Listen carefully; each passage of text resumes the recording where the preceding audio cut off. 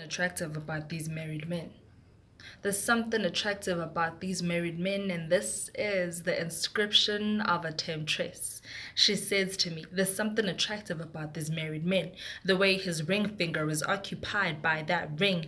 It is subtle, it doesn't bling, it is plain so that you can't see it when he puts his hand inside his pocket to take out that something like money. So he gives it to you and he entices you, takes you to that hotel room because, baby girl, there's something attractive about these married men.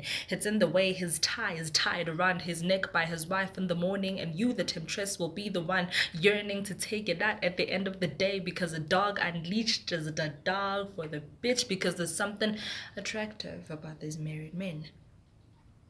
It's in how he tells you to keep quiet when he has to respond to his wife talking about a late night meeting when it's actually late night eating because there's something attractive about these married men.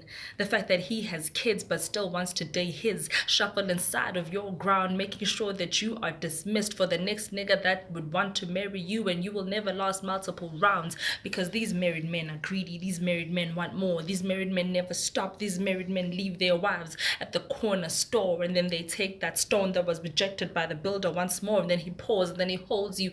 He is inside your pores. He is inside your skin. You smell of him bitch, you reek of ruining a home. But there is something attractive about these married men. It's in the way his wife prays for him. He walks with the presence and anointing of the Lord. So why? Why would a girl that is sitting at the back of the rows in church not want to scream amen once more? Because there's something attractive about these married men. It's in the way he drives his lavish car with a baby on board stick R, but there is no baby in there. So you decide to get inside, slide in them DMs of that married man because there's something attractive about these married men.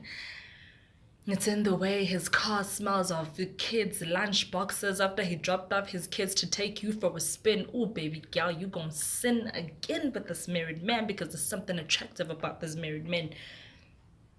It's in the way he will muff you and take those same lips and put them at the dinner table, ask his wife to pass him the salt when he has released the salt, when his wife is dying of salt, when he doesn't want any more. And it's not her fault because there's something attractive about these married men. They've got this thing. They've got the song about them that makes temptresses sing. They've got this thing. They've got this thing. There's something attractive about those married men. It's the experience that they ooze. There's something attractive about those married men. But the attractiveness will always end when he decides to say, I don't want you anymore, I'm going back to my house, I want to build my daughter a beautiful home. That's when you become spiteful, want to kill the wife too. You want to do the things that will make him wife you, forgetting that once there's another wife, there will have to be a new mistress. That there is something attractive about these married men, and it's a disease.